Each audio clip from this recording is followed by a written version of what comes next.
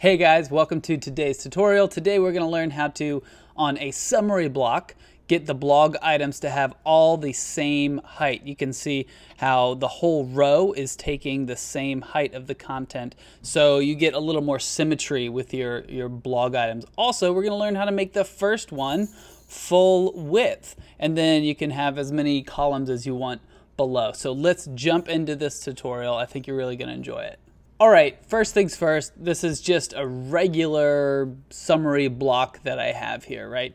So I'm gonna go into my edit mode and you can see I haven't added any additional styles to it. This is just pulling from that blog.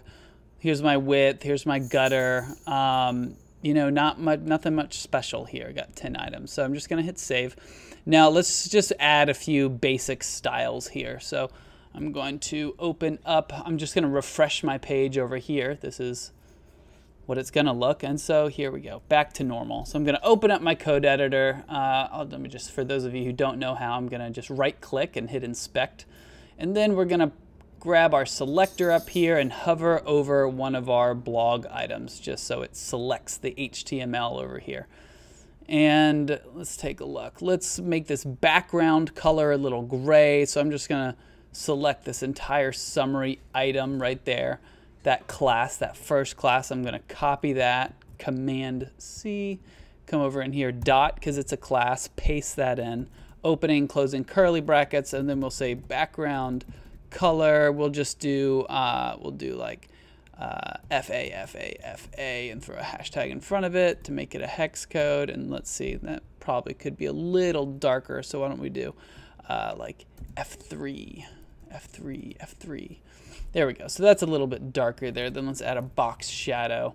Uh, not, yeah, box shadow around that. Shadow, we'll do 0px, 0px, uh, 5px, and then that's a little bit of a darker shadow. So let's sort of give it the same, maybe a little darker here. Why don't we do hex value at uh, 777.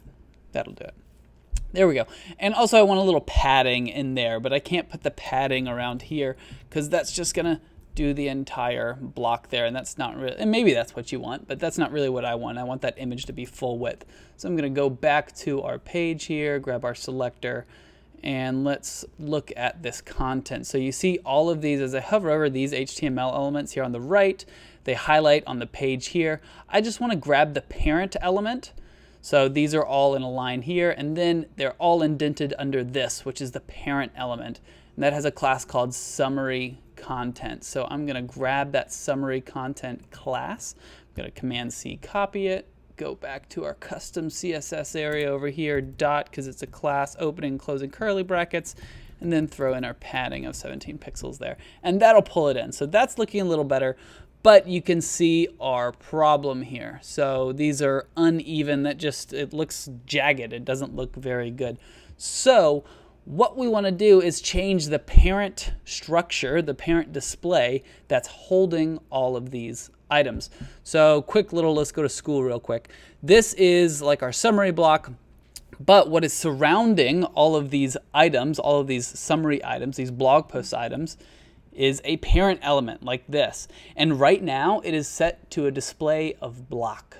And we want to set it to a display of grid. And with grid, we can use CSS grid to define how many rows, how many columns. It gives us a lot more customization as we do this. So that's what we're going to do. So let's first, let's find this exact parent element, the direct parent element, I should say, of these items. So let's go back to our code here. Let's open up, let's refresh it so we can see our, our new styles there. Make sure they're coming in nice and good. Oh man, now we're being slow. I'm just gonna grab my selector and start to move ahead. Oh no, everything froze. And we're back.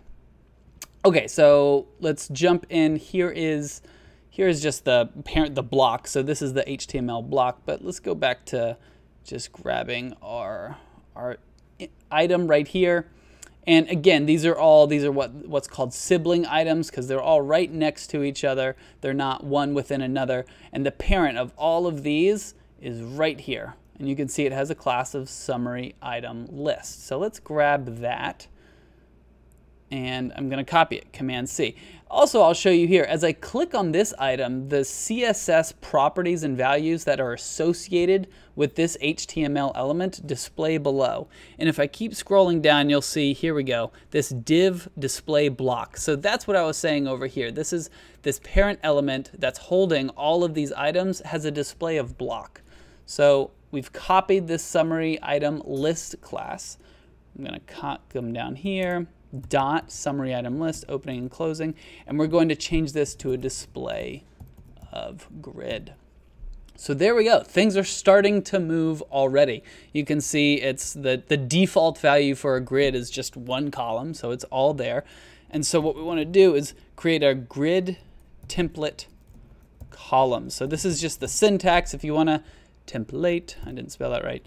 Um, if you want to learn grid, there's tons of resources online. I'm building a course right now that doesn't only do grid, but all of CSS. So sign up for my newsletter if you care to learn more about that. CSS-tricks.com has a great tutorial, uh, whole article about grid if you want to learn more there.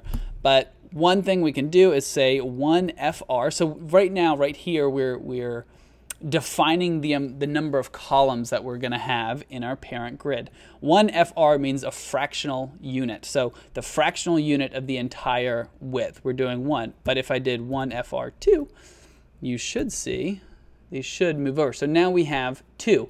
So each one of these, one FR, one fractional unit, defines a column. And if I do two, that defines two columns. And you can imagine if I do three, that's going to define three columns. But first you can see this isn't exactly how we want this to look. And that's because if I come back over here, I saved it, let's refresh, take a look. That's because of some other properties that Squarespace is adding. So we're gonna need to override those. So let's look at each one of these summary items. You can see up here, Squarespace has added a width of 45%, a margin bottom, and a margin left. So we want to just remove all of those values. You can do it, you can see it right in your browser by just hitting this, and that'll remove them for that one element, but we want to do it for all. And you can also see this is the summary item. So we can just add this, go back to our CSS, in our summary item class. So I'm just going to force a width by saying 100% and giving it the important tag. So this is going to override any other styles we have. And then I'm going to say margin, uh, margin right, was it the one? I'm going to say initial, and that's just going to reset the initial. I need to spell that right. Um, that's going to reset our margins, and we're going to do the same thing with bottom, and let's do margin left to that one. There we go. So now these are all like right on top of each other.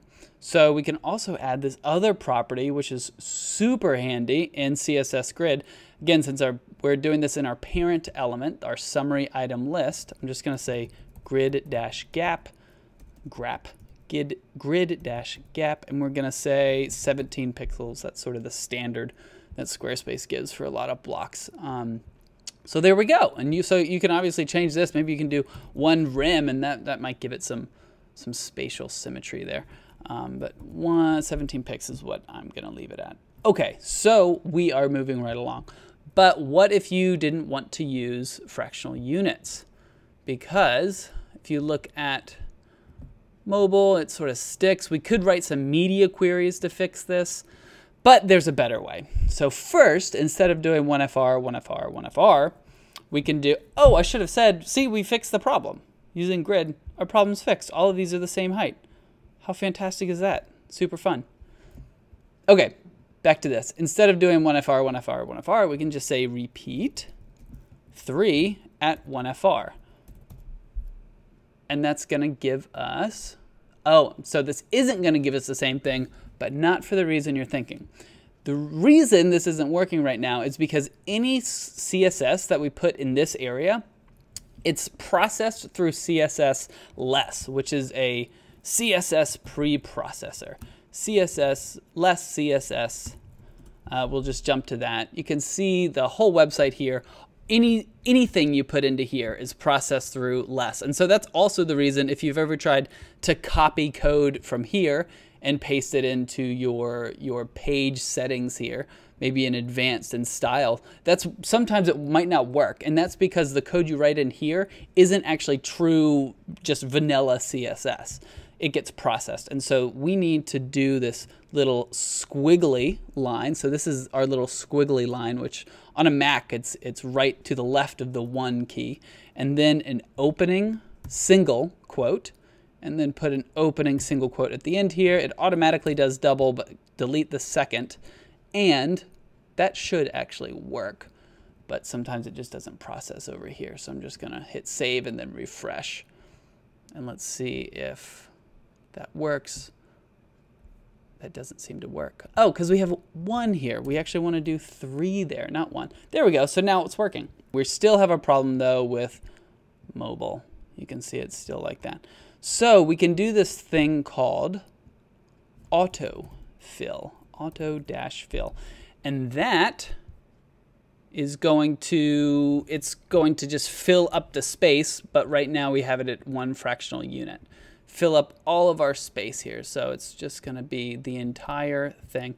But if we combine that with another grid thing we can use here, min max, um, and then we use, we say the minimum value we want it to be is, let's just say 300 pixels.